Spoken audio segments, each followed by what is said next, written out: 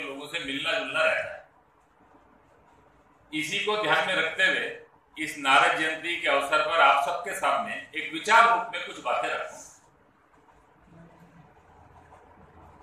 कम से कम एक बात पक्का नहीं करूँगा, पत्रकारों को कोई ज्ञान नहीं और उपदेश भी नहीं होगा वो कैसा होना चाहिए कैसे काम करना चाहिए वो सेंसरशिप सेल्फ होनी चाहिए सॉफ्ट होनी चाहिए।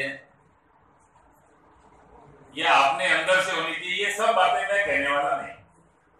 क्योंकि मैं इसका अधिकारी अपने आप को मानता नहीं। सुरेंद्र शर्मा जी। भाई आप बैठ जाओ। करी करी और आप चैनल वन ग्रुप में एडिटर का यार राज बिलोरिया जी।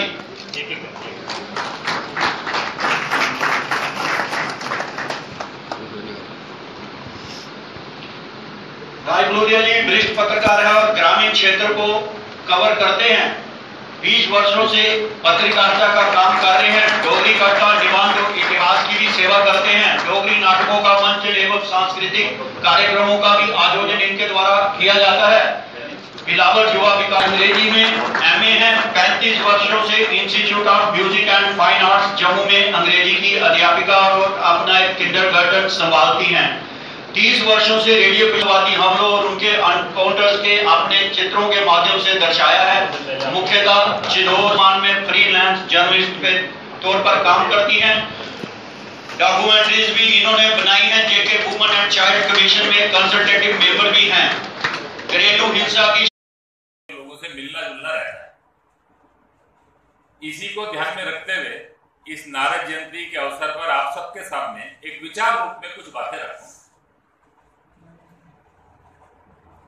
कम से कम एक बात पक्का नहीं करूँगा, पत्रकारों को कोई ज्ञान नहीं दूँगा और उपदेश भी नहीं दूँगा।